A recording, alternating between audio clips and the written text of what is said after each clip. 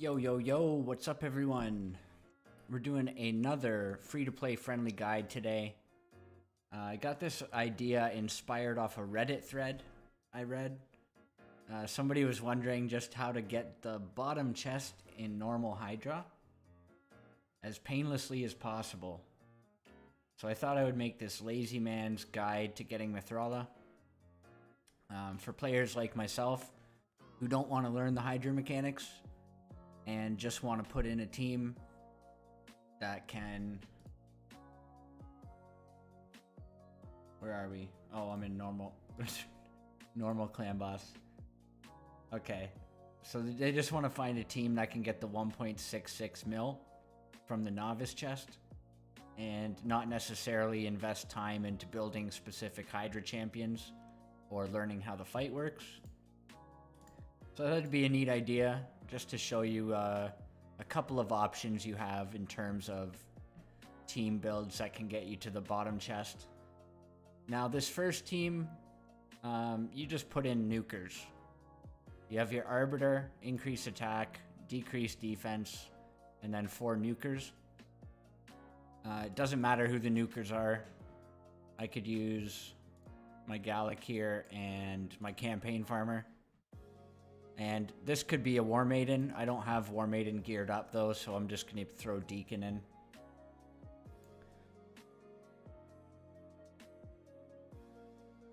So the basic premise of this idea is you just buff everybody's attack, drop the Hydra's defense, and nuke. Having uh, War Master on your champions is going to help. Having... Yeah, that's it. Just War Master or Helm Smasher, whatever you got. Put a bunch of nukers in with drop defense. They're all going to die repeatedly because they're really squishy. As you'll see in just a moment once they're done taking all their turns.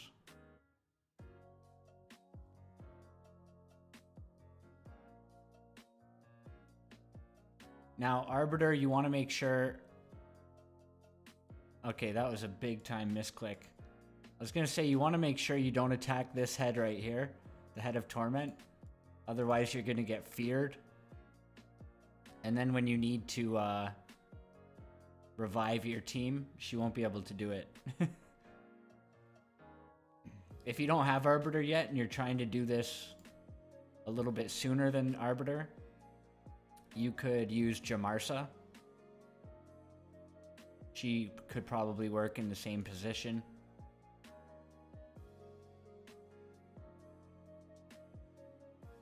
That would, of course, require you to do the referral accounts. So, as you'll see, you notice they're dead. Arbiter revives, followed by her heal and turn meter boost. And then just get back to nuking.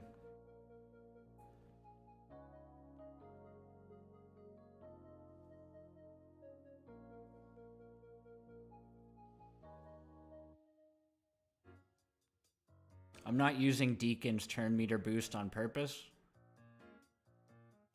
So I just want to show you that it's actually really easy to do it without any specific champions at all.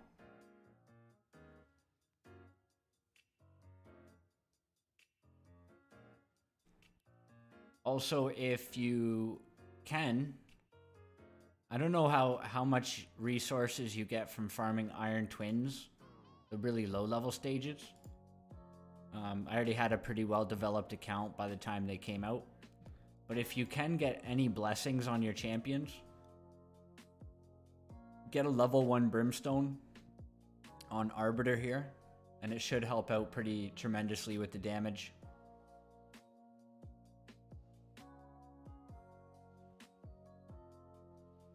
Okay, so I've saved my Arbiter's Revive here.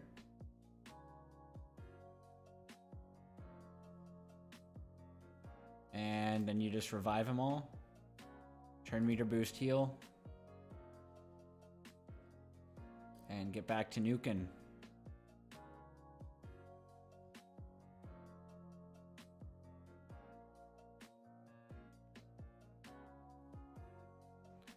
if you've got any max HP nukers like Royal Guard or Husk, uh, you can replace any of these damaged champions with those guys and it'll make it a lot easier. But if your goal is just to get bottom chest on normal to start collecting Mithrala, it's really quite simple with this type of setup.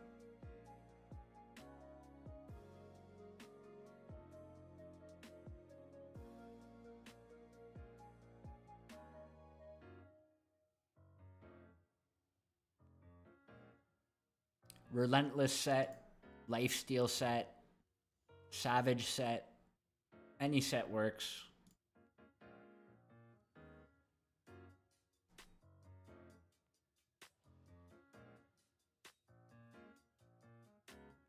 I'm gonna save her turn meter boost for after the revive. Always the best way to play Arbiter.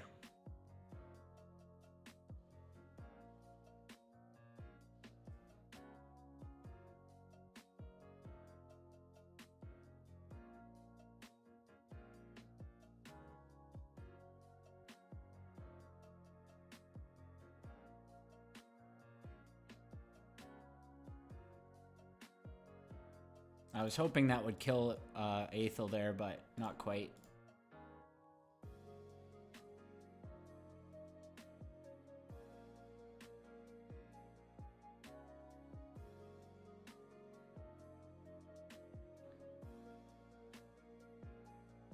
As you can see, I'm just ignoring all the Hydra mechanics. I'm just focusing on one head. And there's the 1.6. So you can keep going with this. Uh, if your team is built really well, it, or if you have like Royal Guard Husk, uh, or or a better damage dealing champion, you can probably get this to a one key normal once you have the decent gear.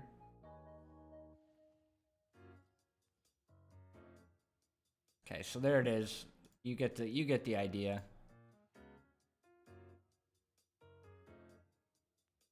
Now, the second team uh, is going to just be Drexthar and Arbiter.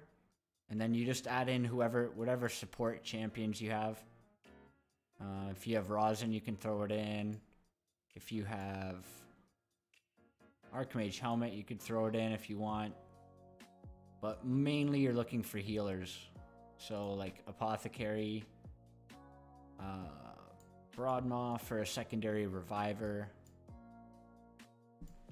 and yeah, that's honestly that's good enough. If you have uh champions like obviously if you've got Akoth, would be really good. Reliquary Tender would be really good. Doom Priest would be really good if you've pulled him. Mordecai, any form of AoE HP burn is how you're going to do your damage. But for, uh, for this particular one, I'm just going to show you this setup. You could also throw in Jizoh. If you get him built to level 50 and put him in like high resist, tanky with enough accuracy to land his provoke, he can be helpful in a team like this as well. Personally, I didn't want to invest resources into building Hydra champions early on. I think it's kind of a waste of resources. Because you're slowly going to build up champions for every other part of the game. And then you'll just be able to naturally slot them into your Hydra teams. So here's why Jizoh's so good. He, he puts out these buffs so that one person has more buffs than the rest, and then he can provoke. So provoke will prevent your team from getting cleansed if you provoke uh, Head of Decay. And then with Drexthar, you're just hoping to get hit. Which he hasn't got hit yet, unfortunately. Okay, there's an HP burn. And the reason why Reliquary Tender and Doom Priest would be good is look at all of these friggin' fears that's really, it really slows down your damage not being able to uh, take a turn. If you have an AoE HP burner, it's much easier to just apply HP burn and get your damage out. And then there's uh, the level 1 Brimstone as well. You'll see it proc here in a second. Actually, yeah, you should see it proc right here.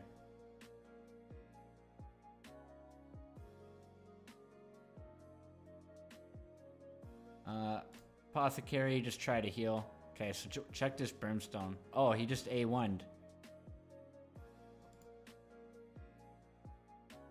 I guess if you've got somebody close to death, you can bait them into A... Or was he still provoked? Never mind. Okay, I'm dumb. Disregard what I just said. Um, Drexthar also has a provoke. He can sometimes land on the head. But it's not 100%, so... Um, Arbiter can clear some buffs off. The you just got to watch out. You don't use it right before you want to revive, or else you might get your revive uh, canceled there.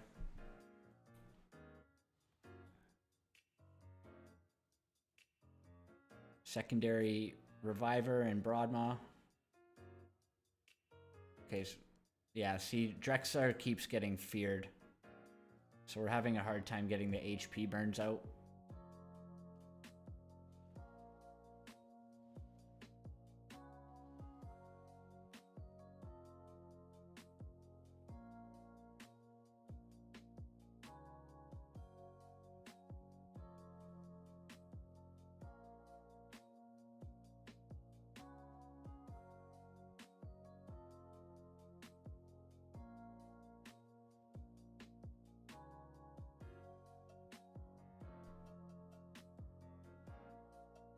We go.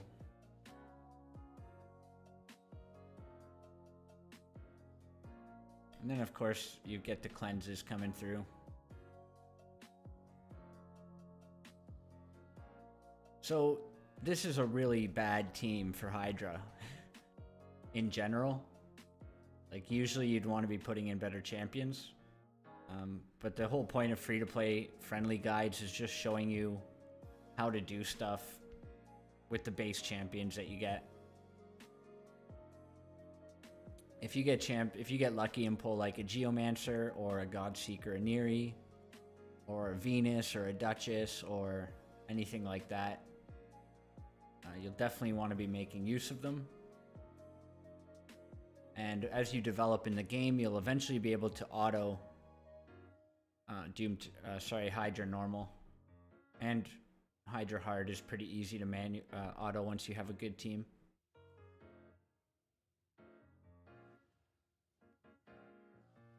So you see every time they take a turn with the HP burns, now that they're all back up, we get quite a nice chunk of damage going out.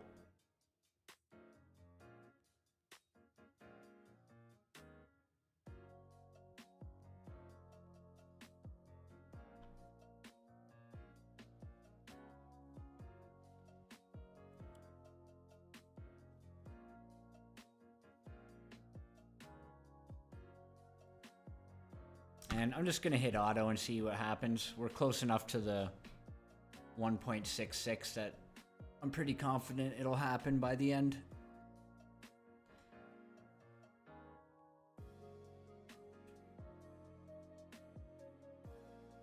If you're at the point in your account where you want to start learning how to farm Hydra more efficiently, I would recommend checking out uh, Nubkex Nubkex on YouTube. He's got some really good uh, Hydra content. Goes over all of the the nitty gritty, the mechanics. You know, actually learning how to fight it instead of just going for the bottom of the barrel, bottom chest on normal.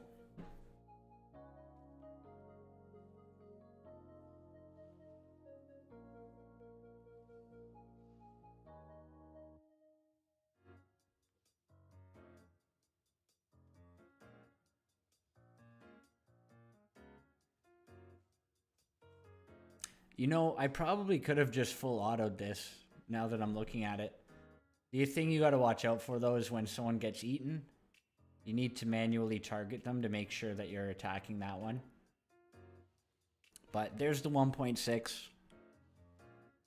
Doesn't require anything crazy. None of these champs have crazy gear on them.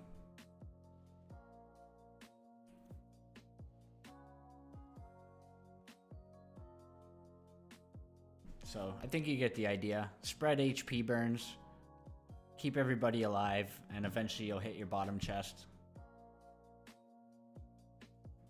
So doing this every week, uh, you definitely want to try to get into a clan that kills normal Hydra. And doing this every week, you're going to get two to four Mithrala fragments. So 25 weeks minimum up to 50 weeks maximum. But generally, I mean, if you average it, say you get three a week, uh, 33, 34 weeks. So definitely not bad. I got mostly four, when I was collecting Mithrala, I got four fragments almost every week up until I was in the 80, 80s or something. So we'll take a quick peek at some of the gear. This is my hybrid arena slash dungeon arbiter build. So reasonably tanky, fast enough, some accuracy.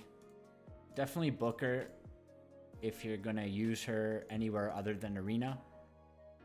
And I would even consider booking her if you use her in arena, especially 3v3. It's really, really helpful having these cooldowns. I put her in Resistance Mastery. Uh, timely Intervention is probably a better option. I don't have her in a Resistance build, so this is kind of useless. Uh, here's my Drexthar. He's just in his Lifesteal Perception setup. Um, he's built for Doom Tower Hard. Again, if you're going to use him in Doom Tower Hard, do recommend booking him. Once you get Mithrala, you don't really need him so much, although he's still useful for specific bosses. Um, but for those bosses, he doesn't really need books. The books are more so for wave content. And then his mastery's got Giant Slayer to help with healing, and then some defensive. In terms of the nukers, uh, your decreased defense champ just needs speed and accuracy. A little bit of tank stats never hurts. And then when it comes to nukers, you can use whoever you want as long as they're geared for damage. Here's my Kael. This is the build I had on him all through the early to mid game. He's still wearing the same stuff. Of course, he's booked, and he's got War Master for clan boss damage and dungeon damage, which also helps him in Hydra.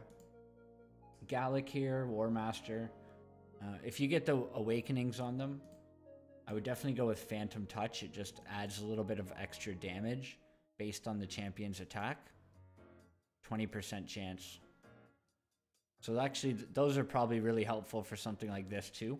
Although definitely not necessary. This is just a Faction Wars build. Again, with War Master and Lifesteal. Here's my campaign farming Bellower. He's in a stun set because why not? Almost booked. I forgot I hadn't finished booking them. And I have him in Helm Smasher, but I, I should have gone for Flawless Execution. Not a big deal. Uh, you could build War Maiden out in War Master, put her in Lifesteal, and she would work fine for Hydra as well. Apothecary just in his uh, Relentless setup. Decent tank stats, decent speed. I built him high resist for Doom Tower bosses because I'm trying him out on a few different bosses there. And early game, you'll probably put him in Giant Slayer. But once you get to, if you're going to use him in end game content, you'll probably want to go for Unshakable and defensive masteries, as well as his support healing masteries. Uh, other champs I used on Hydra in the early game was Shield Guard in Lifesteal and War Master. I use Zephyr Sniper in War Master and Lifesteal. Uh, so those champs can work as part of your nukers, nuker setup. if you have them leveled, but most accounts generally aren't going to level these champions because it's it won't be long until you get better options. And I think that was about it. So yeah, there's my lazy guide to getting Mithrala as soon as possible. And then once you have Mithrala, it really opens up your options on a free to play in terms of like 3v3 arena setups and just making PvE so much easier. Such a good kit. Hard crowd control with her Hex and Petrify, increased defense, increased attack.